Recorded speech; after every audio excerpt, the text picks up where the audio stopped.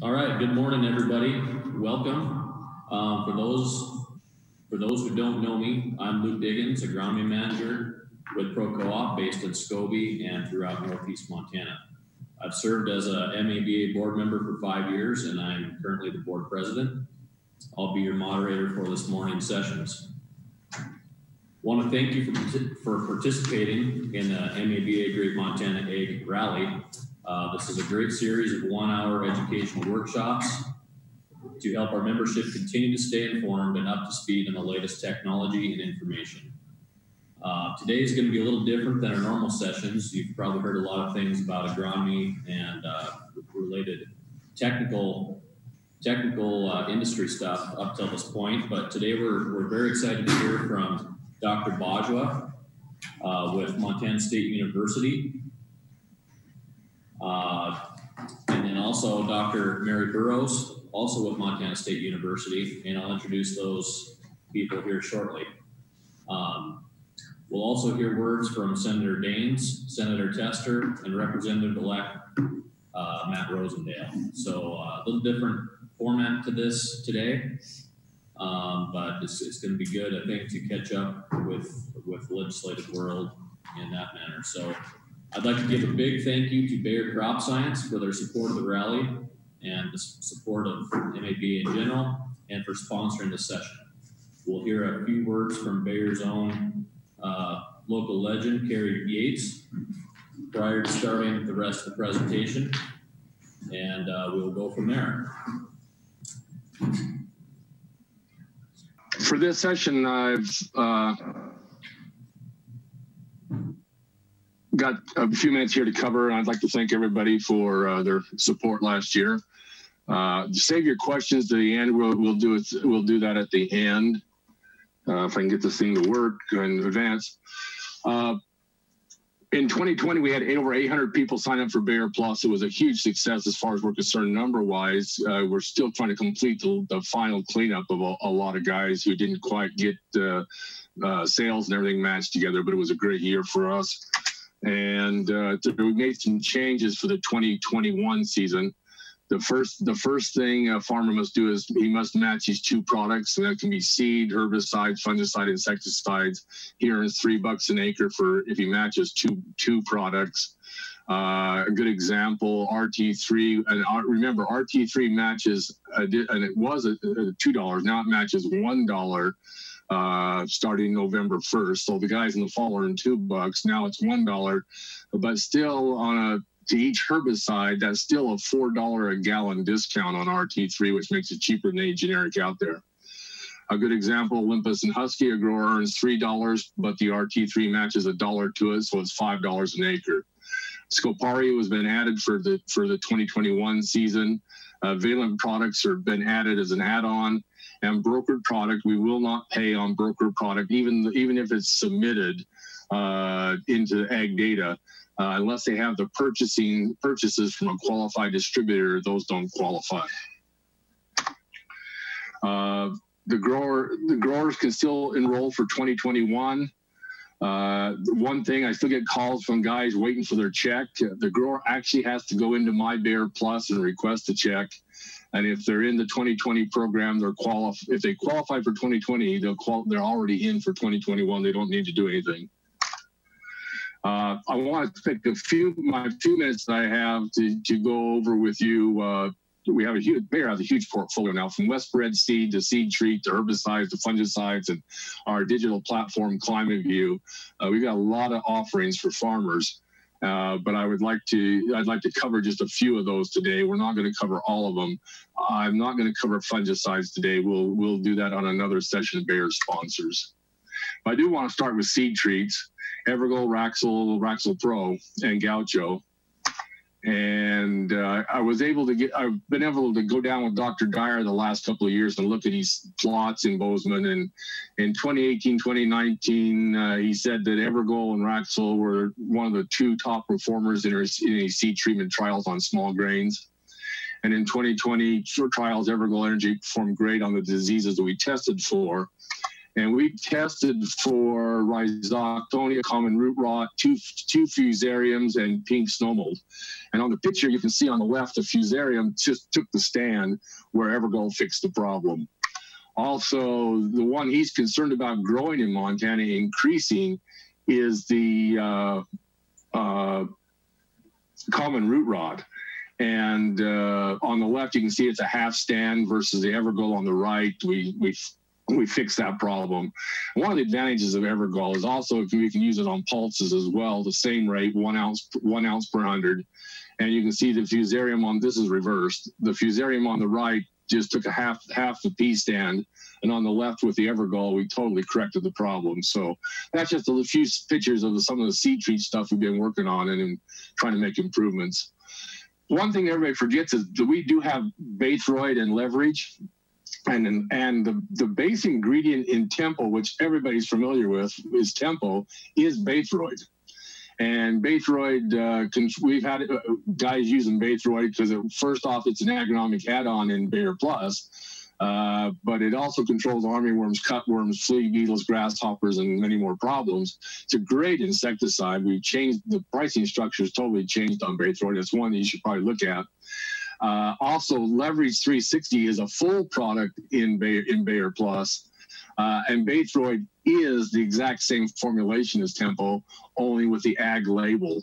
And so, where Tempo has in your house, uh, wherever on the, in restaurants, whatever, uh, leverage leverage has all the ag labels, garden labels, and everything else.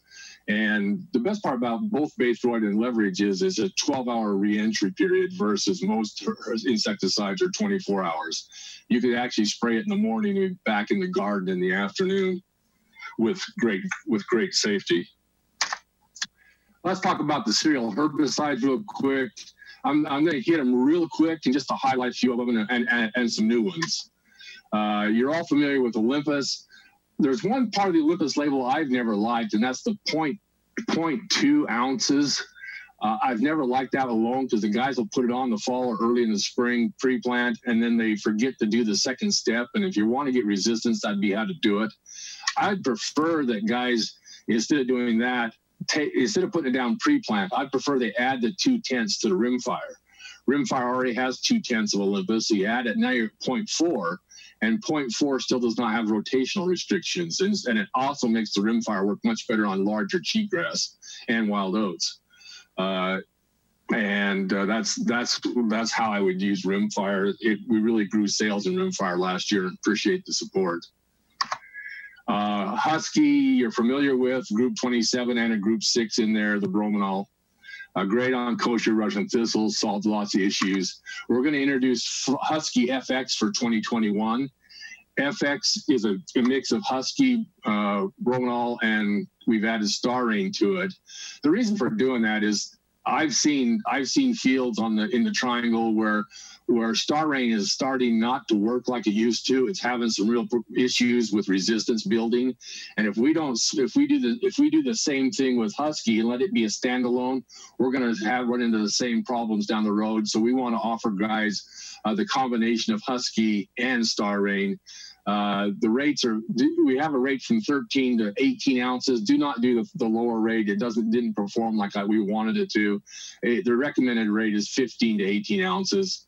Uh, it's a nine month rotation to most crops. Uh, not a problem for, for chickpeas, but uh, peas and lentils is 18 months. Uh, that's that, that would be the downside to it. A great broad spectrum leaf control, weed control. Wolverine Advanced, oh, back up. Wolverine Advanced is one, uh, I can get it to do this, back up. there we go. Wolverine Advanced, we designed that. It's a group one, and everybody forgets that we do have a group one similar to Axial. Uh, and it's designed to compete with Axial uh, Star because it's it's uh, it is our Group One bromoxynil, and we've added Husky to it, and that's Wolverine Advanced. Uh, great grasses and broadleaf weed control, wheat, barley, and durum. And guys, guys asking about the safety. Well, if we're putting it on barley, we got pretty good safety. And the, the, main thing with this one is just get wild oats prior to tillering before the five leaf stage. Osprey Extra, we've added we've added some stuff just to get better jointed goat grass control. Uh, it's used in winter wheat for and and jointed goat grass is continuing to get larger in the state of Montana, and we've gone to Osprey Extra, better jointed goat grass control. Luxxur we introduced last year. Uh, it comes with Luxxur A and B, two, uh, four, four bottles in a case. You put in two, an A and a B, and you get 40 acres. All four is 80 acres. We introduced it last year, but we didn't get a lot of product in the in the western Montana. Most of it wound up in eastern Montana. Uh, performs really well on hard to control weeds. Uh, does really has been doing a really good job on lots of weeds like hawksbeard and what I'd like it for is Canadian thistle control. It's about in all of our trials, it averages 84% control of Canadian thistles. The best part about it is that 14% that comes later in the fall. Guys are telling me Roundup's not killing Canadian thistle like it used to, and I when they say that, I can always find that they've used they've used a product in crop that banged it up like a WideMatch or something like that that banged up that that that thistle. So when it comes back in the fall it's not growing very well and we can't kill it. Well Luxxur does not do that. That 14% that comes back in the fall. I can hit that canadian thistle in the fall and we can actually clean up canadian thistle problems by using Luxxur in crop and a roundup application in the fall. Uh, I want to spend the rest of my time on fallow. Uh, uh, and some kochia tips. And here's here's my list uh, takeaways. In Montana, glyphosate-resistant kochia has not expanded as fast as they said it would. It's been slow. It is around, but it's been slow. Uh, in June, the June application is the key. Do not cut the rates in June. Guys go out with 18 to 24 ounces in April, May, and they're happy with this. So they use the same rate in June and just bang up that kochia when it gets bigger, and they're just not doing it. That's the one we're that's the one we're screwing up on is that June application. Those growers who spray every 25 to 30 days are doing a much better job and not having the kochia problems that the other guys are who are waiting and trying to get by save an application. There, that is one of the keys to fat, to kochia control and fallow is spraying every 25 to 30 days. And just because glyphosate didn't kill kochia in July and August does not mean it's resistant. I had a guy last year who banged it up in June. I tried helping him in July. We went with two quarts of Roundup. I had him double up on the hand, so it was a gallon of Roundup. And that dinged up kochia at the end of July, uh, that gallon of Roundup didn't even touch it. It didn't even look like it was sprayed. Yet a month later, the end of August, we got some rains and cooled off. He went out to spray 24 ounces pre-plant, and that kochia was green when he sprayed a pre-plant, and he totally roasted that kochia because it got moisture, started to regrow, and the 24 ounces cleaned it up. So I, I would have swore it was resistant in July and August, and it wasn't. It had nothing to do with resistance. It was just banged up kochia. I do not believe tillage is the answer, long-term answer a couple of tillages can drop that organic matter so fast and reduce your yields, and that is not where we need to be going, is reducing yields. Uh, residual products in fallow work well. Most of them fall applied, but they all spring applied. I've not seen one I've, that I've been happy with. Uh, I think Scoparia and metribuzins are more consistent when they're applied in this is when they're consistently applied in the spring. They work better. And one other thing I wanted to add: farmers are creating their own resistance. And here's how it's, it's not some in some cases blown in from the neighbor, but not all cases. A good example is these new sprayers are so precise. Uh, when they spray the edge of their field, uh, that last 24, 30 inches is a half rate because it takes two nozzles to give you a full rate. So that edge of that field is where we're creating that resistant kochia. And you can see in this picture, the guy totally roasted the stuff in the fork part of the picture, but that one plant survived. And you hit that plant three or four times a year with a half rate, and mm-hmm. that's where you're creating resistance. Resistance isn't coming from the water holes. It's not coming off the road edges. It's coming without where you're spraying it with a half rate three and four times a year. And so that is one of the keys. In August, the guy needs to go out and, and edge his own fields and there isn't that many plants in that 20 inch zone, but the few plants that are there, you need to, they need to spray them out and get rid of them. And that will stop the resistance, except for their neighbors blowing across them, but that will stop a lot of resistance growing on their own place. And I've followed a lot of these trails that guys have resistant kochia. You can follow the trails right to the edge of their own fields, not their neighbor's field. Uh, Scoparia is labeled for fall and spring applications.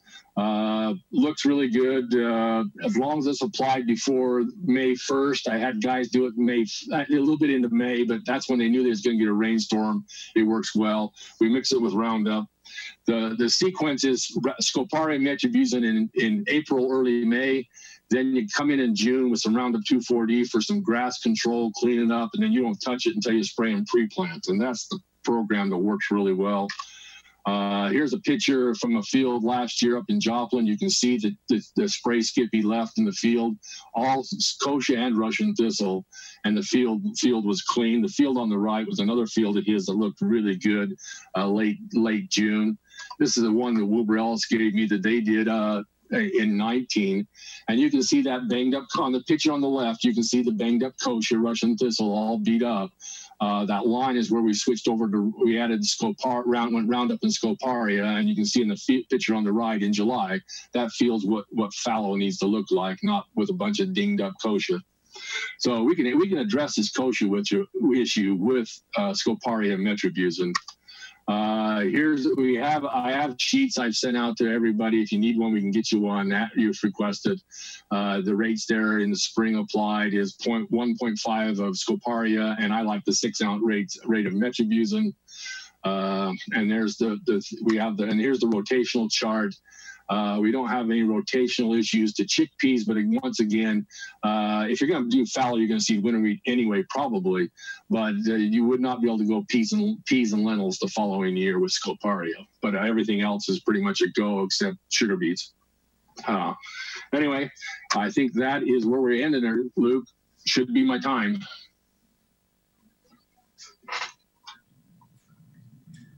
Awesome. Thank you, Gary appreciate the update. Um, and MABA definitely appreciates Bayer Crop Sciences support on uh, sponsoring this event and, and many others. So again, thanks to Bayer.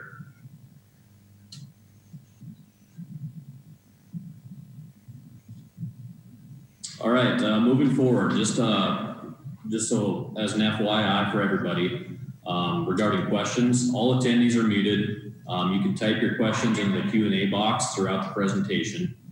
Um, you know, we might be able to answer the questions through the presentation directly with the speaker, or me as a moderator can ask those at the end. We should have plenty of time today to get to that. Um, if you're interested in attending the next session, which will be the MABA annual meeting, it'll start at 1030. Uh, I strongly encourage you to, to join us for that. If you're not already registered to do that, uh, go to Montana or www.mtagbiz.org. With that, um, we'll get started with some words from Montana State University. First off, we are thrilled to have um, a couple people join us. Dr. Sreekala Bajwa She's the Vice President, Dean, and Director of the College of Ag and Montana Ag Experiment Station. So Dr. Bajwa, go ahead. Thank you. Thank you very much. Good morning, everybody. Um, nowadays, or for the last 10 months, this is our only way of seeing each other and communicating with each other. So I'm, I'm very happy to be here and thank you for this chance to, to talk to all of you. I will give, you know, um, Carrie's presentation here gave me some nostalgia. It was reminding me of my days of field research, particularly working with the weeds and uh, resistant weeds. Uh, thanks, Carrie, for that educational uh, presentation there.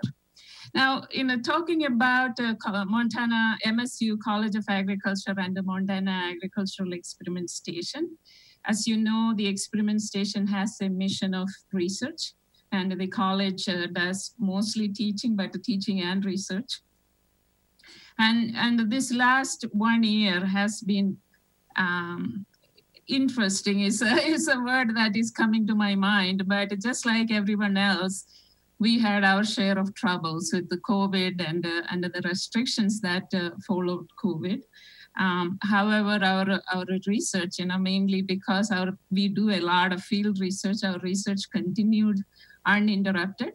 Even lab research, you know, there were restrictions, there were difficulties, but lab research also continued.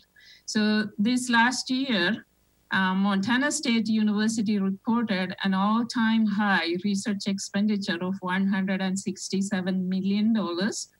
And uh, our college had the highest or the largest share of that research expenditure. So we we also saw an increase in we meaning the College of Ag saw an increase in um, our research expenditure um, by four percent to 44 million. In other words, you know whatever our state is investing in us, for every dollar our state invests in Montana State Montana Agricultural Experiment Station, our faculty and staff brought in another 1.75 dollars to do research addressing the problems of Montanans and Montana agriculture. So we are very, very pleased, very proud of that. Um, so, uh, you know, so an example or what impact our research uh, has on Montana and uh, Montana agriculture industry. An example there is that this last year, um, our share of or the varieties that we developed at the Montana Ag Experiment Station, their, their share of planted acreage went up. Um, in uh, uh, in Montana, 72% of winter wheat planted, 40% of spring wheat planted, and 42% of barley were planted with the um, MAES. MAES is Montana Ag Experiment Station. So they were planted with the MAES varieties, and the, we are very proud. I am very proud of that fact this is only only one kind of research that we do. There are there are all other areas including covid. You know we have several researchers working in uh, in these you know different aspects of covid. Um, and they came forward started doing testing for the state and uh, and studying wastewater. And so there there have been a lot of impact this if i just say this last year but uh, throughout the existence of Montana Ag Experiment Station. Um, and in, in staying, you know, I, I was looking at, I got a booklet about this Montana Ag Rally, and I, lo- I looked at it, and one word that stuck to my mind, uh, or in my mind, that is agriculture 4.0. So aligning ourselves with agriculture 4.0 um, right now, Montana Ag Experiment Station is looking at two areas to expand our research on, and that is precision agriculture. If you if you do a search online on agriculture 4.0, you would see that a precision ag is the you know comes up with that word. So precision ag is an area that we are interested in and working on um, expanding our activities or our research activities in, and another is agricultural innovation. Uh, in precision ag area, we recently had a large gift. If you look at our foundation page, there is a news release on that. Um, we had a $2 million gift from Northwest Farm Credit Services, and $1.5 million in that is for um, uh, building, developing, expanding our precision agriculture research and education in Montana. So we are we are very excited that will give us a um, a great start to do something um, uh, something important for Montana agriculture. And then, you know, I can't talk about agriculture without talking on the college side. On the college side, this last year, we saw a drop in enrollment, a small drop. Um, so we, we were close to 17,000 students before the pandemic. And after the pandemic, we, our enrollment came down to around 16,200, um, around 16,200 students. We saw a similar drop in our enrollment. This is for fall of 2019, this la last semester. So in, in the college, we saw a drop in the uh, enrollment from 2,050 students to roughly 2,000 students. This semester it is too early to say where where we are on enrollment. It is in the fourth week of classes that we have the official numbers coming out.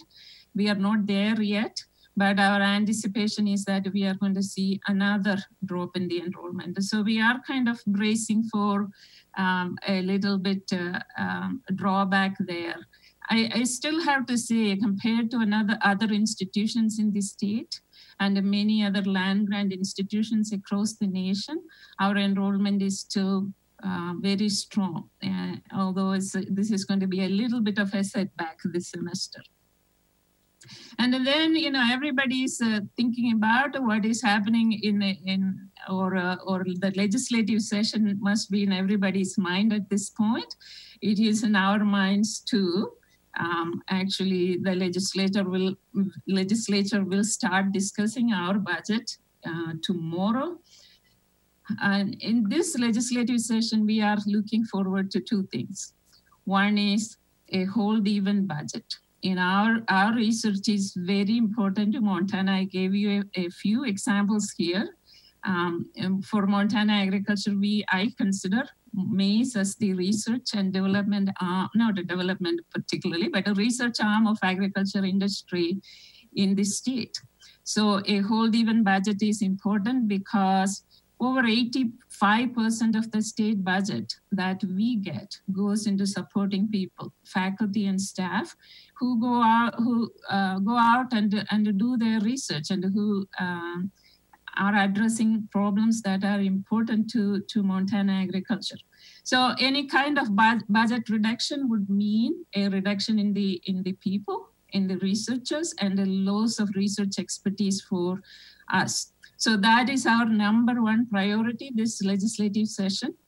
And our number two is, uh, you know, the, there are two. One is the general budget discussion in the legislature, but there is also a long range building plan discussion that is set for February 3 for sure, maybe on February 1 as well.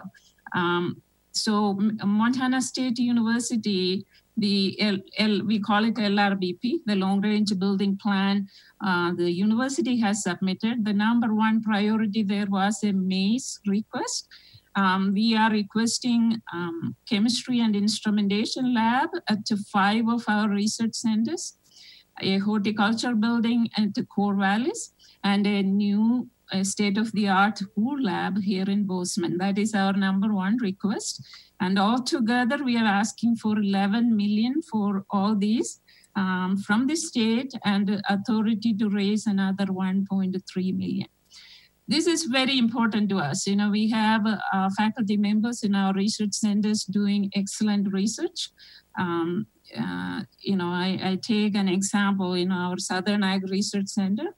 Um, we have a, a, faculty member who is uh, um, very, um, very good in bringing external grant support for research.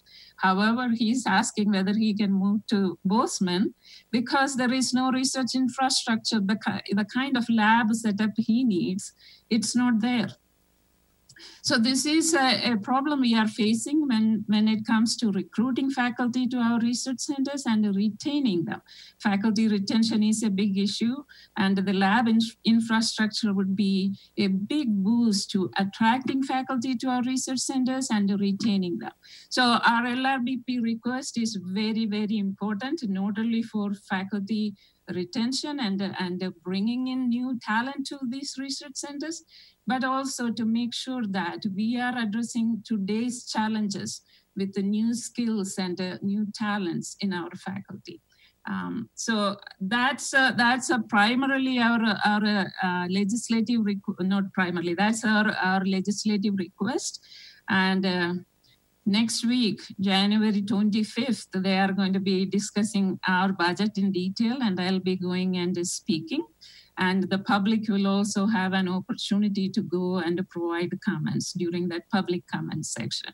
So I am looking forward to, I know that Krista comes and talks uh, during that public comment session. So I am uh, looking forward to providing my comments and, uh, and uh, hoping for support from our friends and our, uh, our uh, constituents. And certainly Maba is our, our friend and our constituent. So that's my update. If you have any questions, I would be happy to take that. I want to keep it short so Mary also has a, a, an opportunity to speak.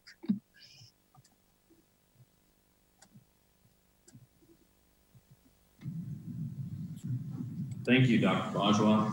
Um, if anybody has any questions for Dr. Bajwa, please go ahead and type that in the Q&A and uh, we can certainly address those now, or we can also look at those right after Dr. Burrows uh, gives her update. One question I would have um, from MABA standpoint, Dr. Bajwa, is how, how do you see uh, the future as far as collaborating with industry and uh, our egg business membership um, as we look at different things that uh, the experiment stations are uh, studying? Excellent question. Thank you for asking that. You know, I, last time I sat down with the board, we I shared some ideas I have.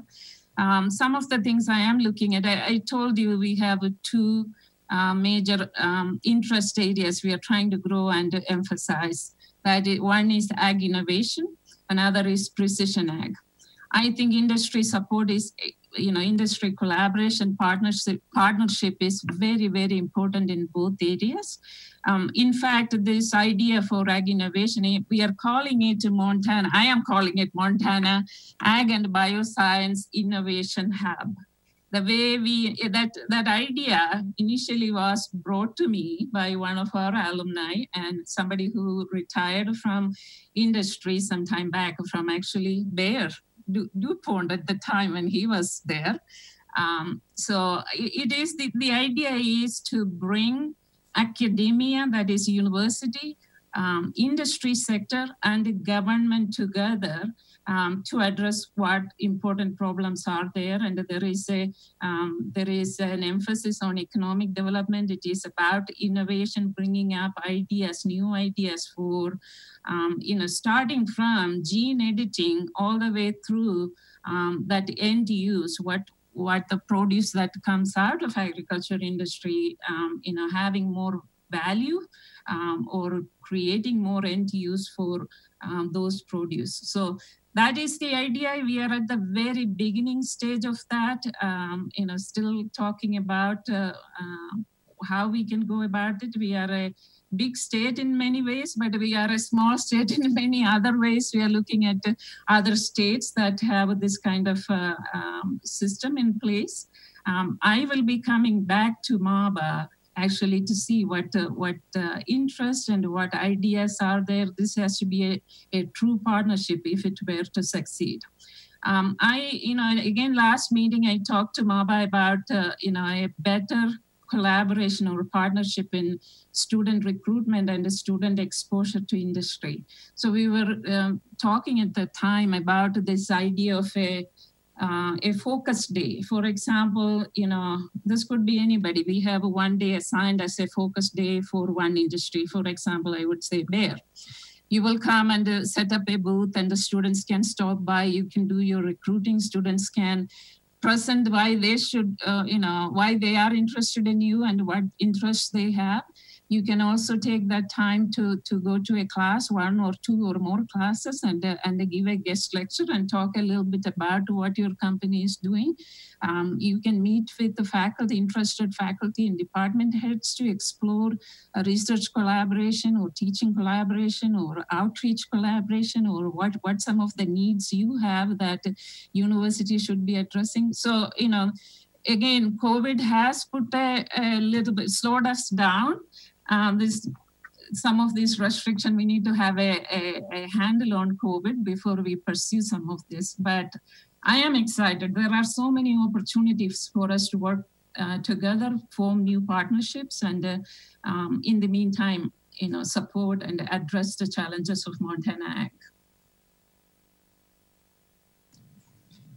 Awesome. Awesome. Oh we sure appreciate that dr bajwa. And i think uh, you know speaking for all of our membership and, and, the board of directors. We're very excited and more than willing to help um, with any sort of input it may be um, as as you guys kind of continue to reform the whole system and, and look at the future. So we, we definitely appreciate that and, and definitely want to work with with Montana State University for sure. Thank you. All right. Um, if there's no more questions for Dr. Bajwa, we'll move on to our next speaker. Um, many of many of you know uh, Dr. Mary Burrows. She's uh, been a staple in Montana agriculture for a long time. Um, currently, she has changed roles. She is now the Associate Director of the Montana Ag Experiment Stations and Research Development. So that's a new role, and uh, we're excited to see her in it. So, Mary, go ahead. Thanks so much. Um, I'm looking forward to continuing to working with all of you in my new role. Um, as you might know, one of the focuses of my job is communication and increasing communication with our constituency. Um, as part of that, we do have the Montana Fertilizer Advisory Committee coming up, which Montana Ag Business Association has been involved with over the years. This is check off funds from fertilizer sales that are then invested in research opportunities. Um, there have been a lot of challenges of COVID, but there are also some opportunities, which in, includes increased access to information, and there will be a public uh, panel for um, researchers to present their um, results of their research and discuss issues that are important in the fertilizer industry, and that will occur on the 25th of January. The other opportunity coming up is that Montana Wheat and Barley Committee also will be doing a public panel with researchers on the 3rd of March. So stay tuned to our websites and press releases for more details on those. Um, we have a number of new faculty in the college at research centers. We have Clint Beiermann at the Northwest Ag Research Center. He is a cropping systems agronomist. Justin Vetch will be serving as the new superintendent of the Western Triangle Ag Research Center and love Lovreet Shergill as the weed scientist at the Southern Ag Research Center. We've had a lot of challenges with hiring freezes, but before those freezes, we did get um, two faculty in Ag Econ and Econ hired, four in Animal and Range, one in MBI, and one in Plant Sciences. And we also have a new forage specialist um, starting Hayes Goosey very soon. Um, we have field days coming up this summer, and we're all very hopeful that they will proceed as normal or with some minor modifications. Those are listed on the college website. And we have another focus of my job is increasing the investment in faculty so we can continue those research successes that Sreekala described. So we've given some mini grants to faculty. We're doing training in peer review of grants, impact statements, um, teaching people how to make videos if they're uncomfortable with that format and refreshing them on what is required for PIs and all the rules and regulations so that we can get those grants out the door. We're also hiring a grants coordinator here in the college to help facilitate those large inter interdisciplinary grants and, and take some of the burden off faculty for a lot of the routine activities. Um, so I'm just really looking forward to seeing people at field days if we can go out there uh, interacting with everybody on the advisory committees. I really enjoy that part of this part of my new job. And I want to thank Montana Ag Business Association for their support over the years of both the college extension research centers. Awesome. Thank you, Mary. Appreciate the update. Um, you know, again, I, we're speaking for all of MEB and all the membership. I, I, we're excited you're in that role and excited to continue working with you and and see what develops for the you know the betterment of, of Montana Ag. So if there's any questions for Mary, um, you know, please type that in now in that Q and A.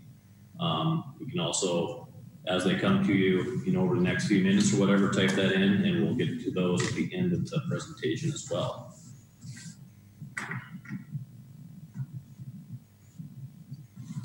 Also, uh, you know, I guess we kind of skipped over a couple things uh, with with Carrie Yates too. If there's any questions there, make sure you let us know, um, or we can get you in touch with Carrie if there's something more uh, technical that you missed and you want to catch up there. With that, um, seeing no questions right now, we will continue to move forward. Um, we have some messages from our congressional delegation.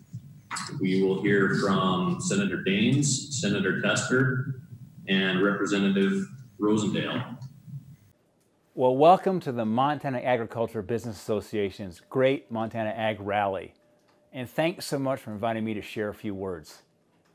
Agriculture is Montana's number one economic driver, and the strength of Montana's ag would not be possible without your hard work and your dedication to Montana's farmers and ranchers. Oftentimes, many folks don't understand what goes into growing our successful crops with a high yield as well as a good grade. Without everybody in this room, we would not see such high quality crops come out from our great state. And like so many industries, Montana Ag was impacted by this pandemic.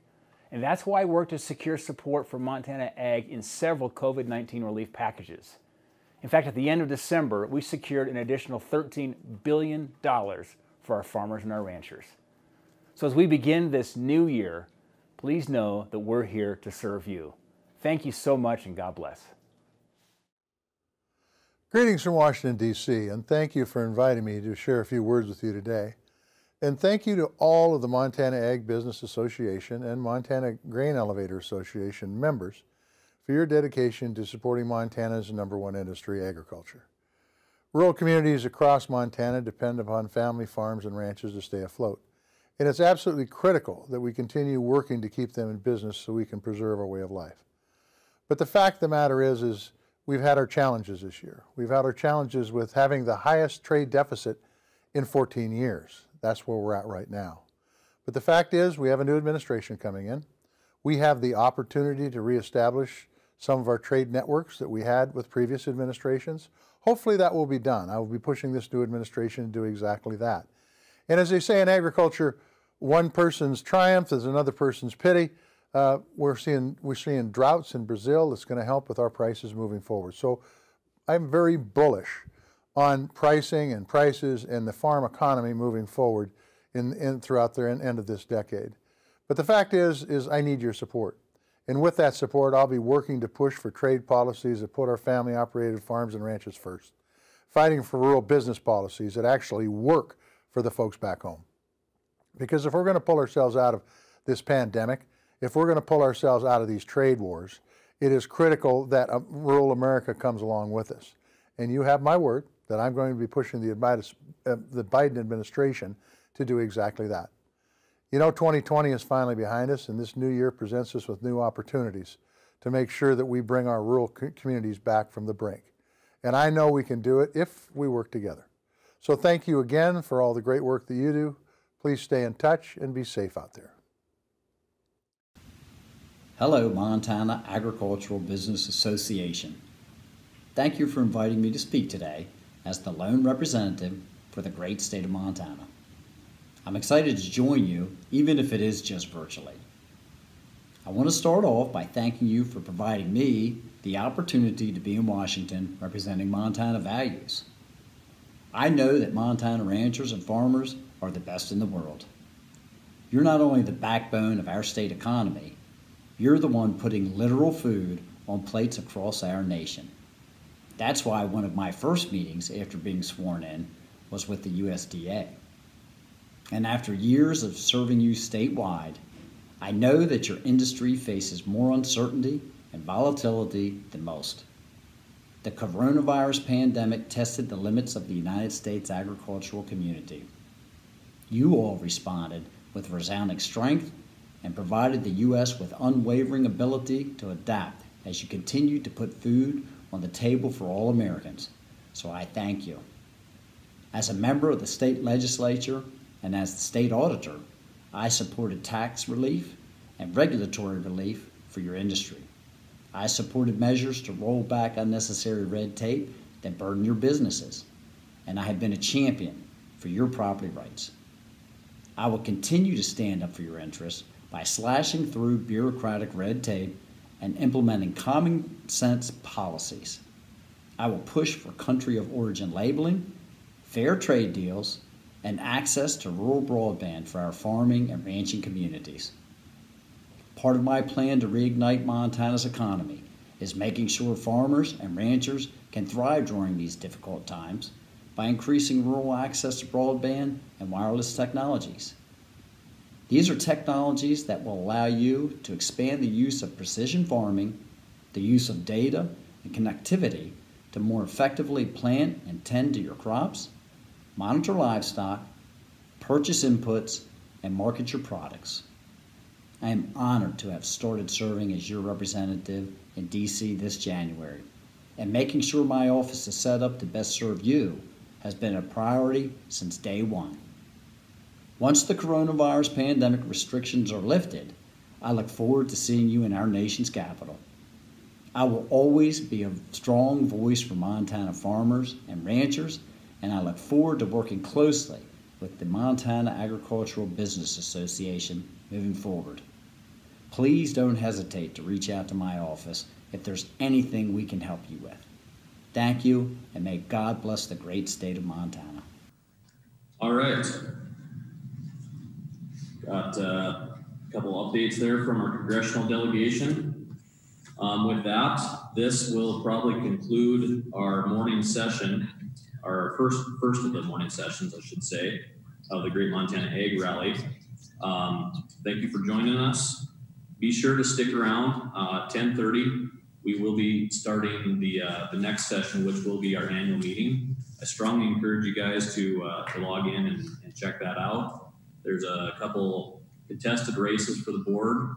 Um, you'll hear a legislative update from uh, Chris Lee Evans, and we'll just kind of go through what we've been up to over the last year and our goals moving forward. So I strongly encourage everybody to stick around or uh, come back, I should say, at 10:30 and join us for the annual meeting. If you uh, if you're not already registered, please go to montanaagbiz.org and uh, register there. All right, thanks everybody, and we'll see you soon.